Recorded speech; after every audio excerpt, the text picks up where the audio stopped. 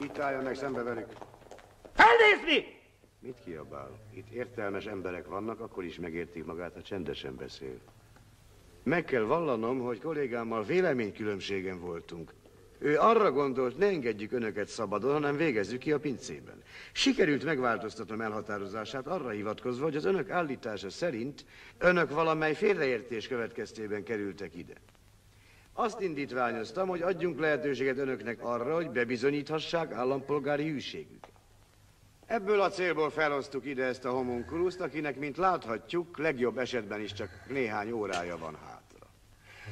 Ez a szánalmas lény vasöntő volt, aki nemrégiben felrobbantotta egyik fegyverraktárunkat, és amint mondotta, utolsó gazembereknek tart bennünket, a szabadság eltipróinak, Néró és Caligula utódainak, hazaárulóknak, stb. stb. Nem sikerült meggyőzni tévedéséről.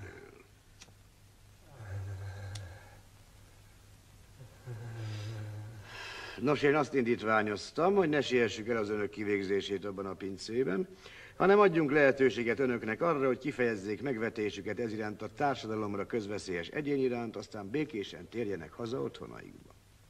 A kivitel úgy képzelendő el, hogy sorban távozás előtt ide járulnak ehhez a szuszogó förtelemhez, és két pofont mérnek az arcára.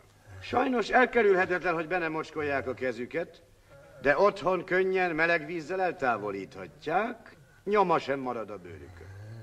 A sorrendet önök döntik el, az kezdi, aki akarja. Parancsoljanak.